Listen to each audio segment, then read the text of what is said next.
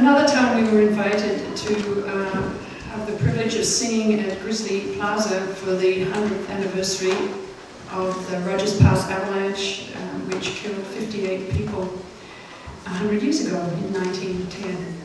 And we'd like to sing one of the songs that we sang for that too, and it's Nearer My God to Thee.